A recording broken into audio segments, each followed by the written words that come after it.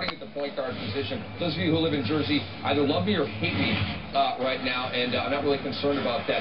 Crawford, the starting one for the Warriors, was the first casualty of Don Nelson's decision to rest his starters for entire games so younger players can get more playing time. Nelly said that he has learned over the years, and he's been in the NBA for 737 years, that simply sitting a player for an, for an entire game is better than playing everyone limited minutes. Hmm. Nelly recently won his 1300th game, and he's second all-time in wins, so you have to respect his decision and his acumen. But that doesn't mean we have to agree with it or like it. In fact, I totally disagree with it, and I hate it for the Warriors as well as bruised fantasy owners. Friday versus Charlotte, Jamal Crawford, DNP. He had 50 against the Bobcats earlier this year. I don't see the logic in that move, Nelly. Sunday against Utah, Stephen Jackson, DNP.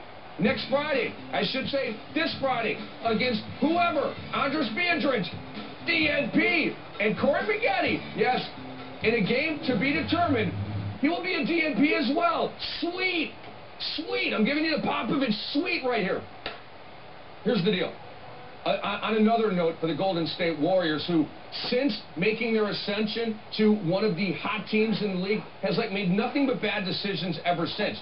Monta Ellis, okay, let's talk about this. If Nelly wants to rest his starters, then why not rest Monta for the rest of the season so his surgically repaired ankle has ample time to heal? Monta is already on the shelf because of occasional stiffness in the ankle, and the Warriors are way out of the race so what's the point? Yes, freaks, I have gone from free Monta, yes, free, free Monta, to rest Monta here on the Fantasy Show. I'd love to see him back, but the dude's obviously not healthy, so I, it's just, uh, let's move on.